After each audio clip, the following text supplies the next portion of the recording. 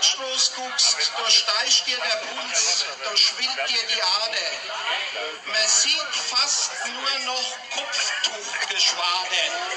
Es gab welche, die stürmisch geklatscht haben und welche, die äh, schockiert waren. Im Nachhinein ist man natürlich immer schlauer und denkt, vielleicht hätte ich da an dem Abend noch äh, Einhalt gebieten sollen. Aber man will natürlich so eine Cap-Party oder Feier auch nicht stören.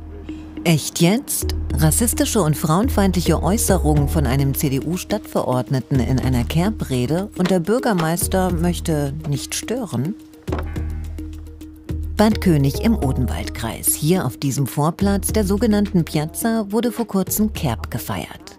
Ich höre mir mit Matthias Hofmann einen Teil der Rede an. Und wenn da fünf Frauen mit 15 Kindern in unserer Hauptstraße laufen und sind, dann haben vier von den fünf Kopftuchfrauen noch einen Braten in der Röhre drin. Nicht vorstellbar, dass das auf einer Kerbrede oder während einer Kerbrede äh, gesagt wurde.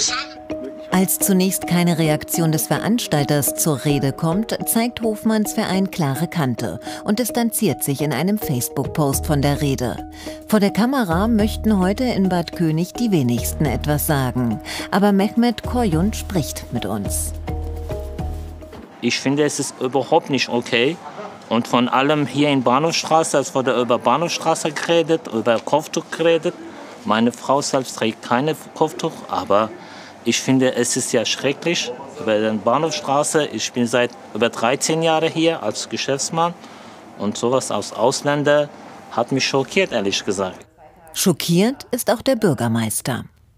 Es ist unterste Schublade, hat in einer Capret nichts verloren und vor allem auch nicht hier in Bad König, in unserer Kurstadt. Sowas geht nicht. Der Kerb-Redner, ein Stadtverordneter, musste jetzt von seinem Posten zurücktreten. Ich habe mich im Ton vergriffen und viel zu spät erkannt, dass auch im scherzhaften Format einer Kerbrede unsere gemeinsamen Grundwerte und Überzeugungen als Gesellschaft niemals verletzt werden dürfen. Konsequenz aus dem Skandal?